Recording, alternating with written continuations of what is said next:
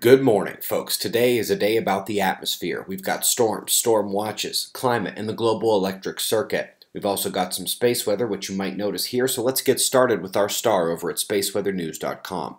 First, it's easy to notice the coronal hole facing Earth, larger one incoming behind it. At the leading edge of the Earth-facing coronal hole, new brightness of an active region appears and those are indeed sunspots. As the disaster prediction app notified you last night, the blank disk is broken, a multi-umbra system developed yesterday and is settled into a lateral spread with beta magnetism. No solar flares from the region yet, and at this point in the 11-year cycle there's no guaranteeing it will do so at all. But alas, that is why we watch, and we are also going to be keeping an eye on these plasma filaments dancing over the incoming limb into our view. Let's take a look next at the solar wind. Minor intensification in plasma speed occurred overnight as the phi angle, up in blue, took interplanetary magnetic fields streaming from Sun to Earth and flipped them back Earth to Sun. The event is minor and not even a geomagnetic disruption of the lowest order can be seen. We do have more solar wind incoming from those coronal holes, however. First one here, its wind should arrive towards the middle of this upcoming week.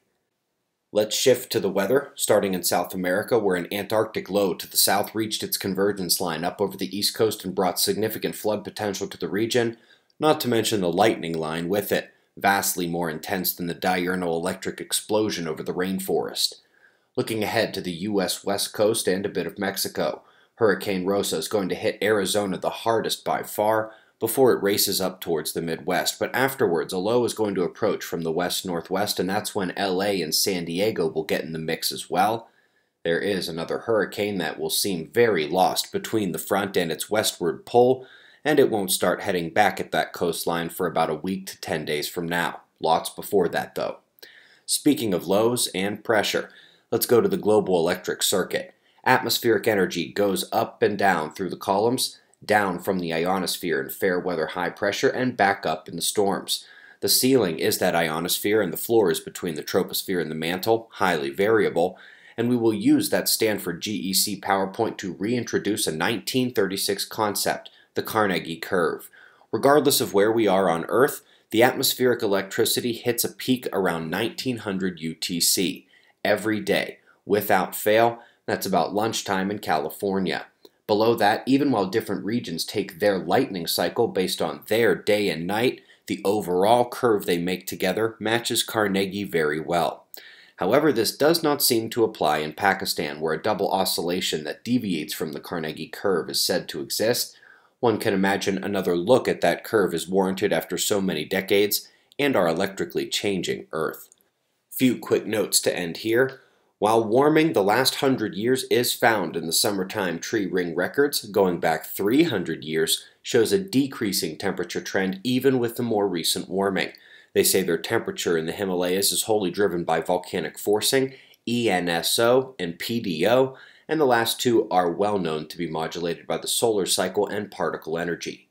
Lastly, folks, hopefully we recall the Yale University and Woods Hole news of a cold climate bomb waiting in the Arctic.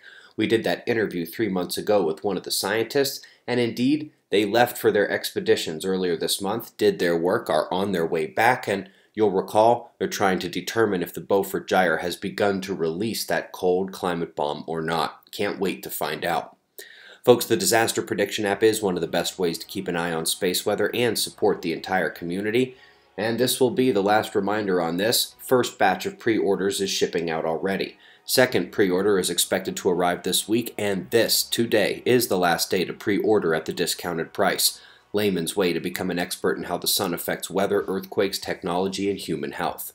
We've got your wind maps and shots of our star to close. We greatly appreciate your support, and we'll do this all again tomorrow, right here. But right now, it's 4:20 a.m. in the new Valley of the Sun.